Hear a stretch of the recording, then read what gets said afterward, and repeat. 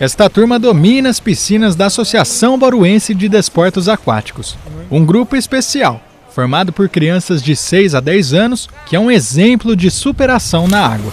Entre o nado borboleta, costas, peito e crawl, encontramos o Samuel, que tem 10 anos e é autista. Ele tem um estilo preferido e adora fazer natação cabo lá que nada assim, ó, faço para mim. Natação é demais, mas você também tem que orar para Deus sempre, todo dia, para abençoar e proteger ainda. Samuel faz aula de natação há cinco meses e já participou de um festival em Bragança Paulista, onde ganhou medalhas de ouro e de prata. Um incentivo para ele continuar buscando o pódio.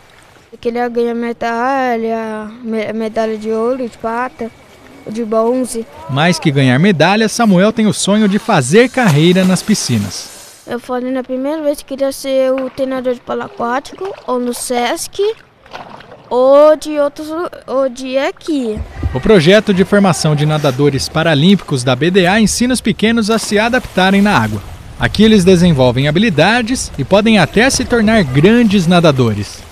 A gente ensina é, a iniciação, a adaptação ao meio líquido, é o nado cachorrinho para eles, é o principal para eles se virarem, né, caso aconteça alguma coisa. Eles aprendem a fazer bolha, que é o, é prim, o primeiro exercício de todos, que é para não engolir água quando mergulha. É o, o nado crawl, o nado costas, peito, borboleta. Tô, os quatro estilos. Eles participam de competições. O trabalho contribui para que desta turminha sejam revelados nomes da natação inclusive de nível paralímpico. A gente preza muito a nossa base, porque é deles que vão ser grandes atletas. E a cada dia é uma conquista diferente, é uma conquista enorme, um, uma coisinha que eles aprendem diferente, que eles conseguem fazer sem material, sem eu estar dentro da piscina segurando, é, é muito gratificante, muito mesmo. Além de habilidades técnicas, a interação entre crianças com diferentes tipos de deficiência ajuda na socialização, já que um aprende com o outro. Como é deficiente físico, visual, intelectual, então eles já ficam acostumados um com o outro. Eles aprendem a lidar com as diferenças que tem entre eles tem muitas diferenças. Raro que tem 10 anos e também é autista. Ele é bem na dele, um pouco tímido, mas quando o assunto é natação e companhia dos amigos, tem a resposta na ponta da língua. Feliz. Por quê?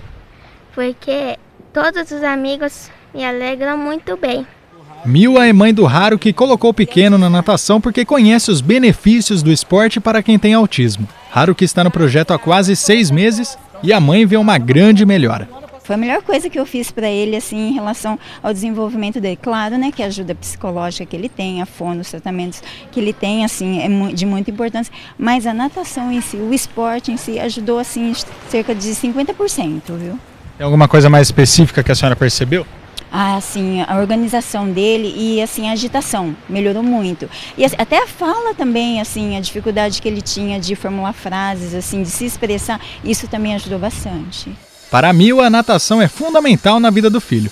Ela espera que o pequeno Raro que se torne um dos grandes atletas paralímpicos do Brasil. Isso é um sonho, é um sonho. Se acontecer isso, nossa, vai ser maravilhoso, maravilhoso. Porque a gente, assim, como mãe de autista, a nossa preocupação é com o futuro. É, é, a maior preocupação é, tipo, ele sozinho, que, como que ele vai conseguir viver. E se ele tiver um esporte, para poder assim se desenvolver e para praticar, com certeza eu acho que ele vai ter um futuro melhor.